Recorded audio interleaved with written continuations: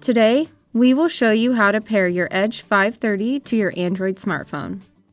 To complete the pairing process, you'll need your Edge 530 and your smartphone. You will need to begin by downloading the Garmin Connect app on your phone. To download the app, go to the Google Play Store and search for Garmin Connect. Select the Garmin Connect app and then download.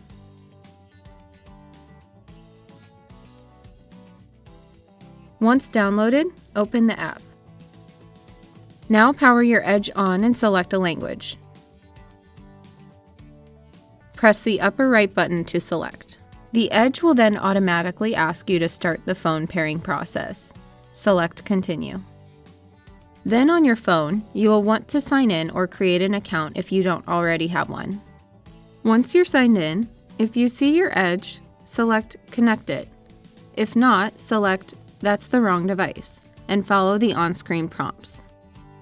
Then select the Edge 530 from a list of possible Bluetooth sensors in your area. When prompted, confirm the passkey matches on the Edge and the phone.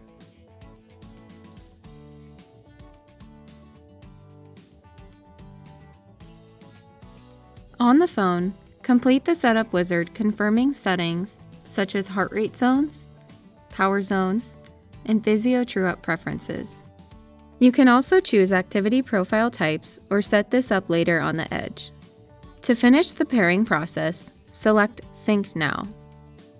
You will also have other options such as setting up Wi-Fi and activity profiles. These things can be done during the initial setup or later by accessing the menu. For more help with this, see the other videos or helpful content on support.garmin.com. And that's it. You have now paired your Edge 530 with your Android smartphone.